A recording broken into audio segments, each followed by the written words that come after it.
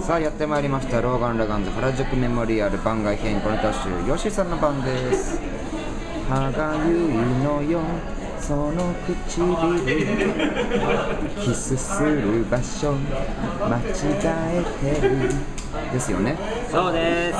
高橋真理子さんでしたっけ？最近この曲大好きでよく歌ってますよろしくお願いします。さあ制限時間3分間で私が出したお題に吉井さんが答えるこのコーナー。あの勤労感謝の日ですよ。11月23日。おおはいはいはね日頃働いてるお父さん。いはい。感謝する日ですよ。はい。なので日頃働いてるお父さんが思わず休みの日にこぼした愚痴、休みの日にこぼした口、うん、別に奥さん相手でも子供相手でも構いません。はいはいはよろしいでしょうか？いはい。スタート。高橋真理子さんといえばオリンピックの歌も歌ってましたね。そうですね。どんな歌だった熱くなれず違うな、家に誰もいねえよ。これどの家庭でもありそうですね。どんな歌だったっけ？覚えてないな。なんか東京オリンピックの歌だったような気がするんだな。うん？はるかなる人でしょ？そうそうそうそう。サビどんな？ですかあ思い出しました。はい。子供を連れて実家かよ。奥さんどっか行ったんですね。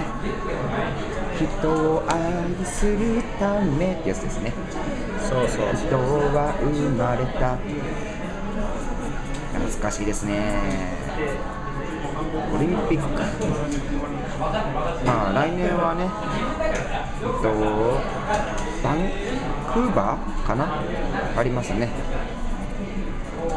東京オリンピックね。はい。冷蔵庫に何も入ってねえよ。切実ですね。あららら。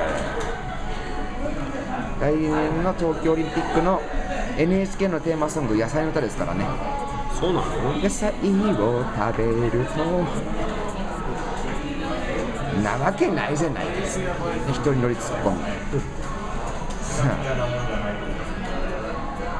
あ休みの日お父さんが思わずこぼした愚痴。なんだろうな。はい。冷蔵庫のコンセント抜けてる奥さん何してるんですかね？お家でね。節約ですかね。ババンババンババンババンババン。おさあお父さん。いつもお仕事頑張ってます。パンパン。はい。仕方がないので昼間からチャット。もうお父さんじゃなくてもいいですね。残り30秒でございます。ああ暇だよ。って言って隣の奥さんとチャットし始めていつの間にか仲良くなっちゃった。実は自分の奥さんも隣の旦那さんとチャットしてたみたいなね。ちょっと近いな。はい。人妻チャットにうちの嫁が嫌だ嫌ださあ残り3秒ですがじゃあもう一つ2ついきますか。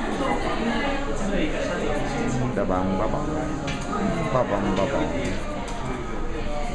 人妻チャット。人妻チャットか。はい。こんにちは。じゃねえよ嫁。旦那に向けて。ねじゃあこれ最後のネタにしてます。はい。人妻チャット。人妻チャットやってて自分のお母さん出てきたらどうします？ね。それ切ないですね。さあ渾身の力作でございます。はい。よろしいでしょうか？はいどうぞ。ボーンもういやらしいんだから。嫁。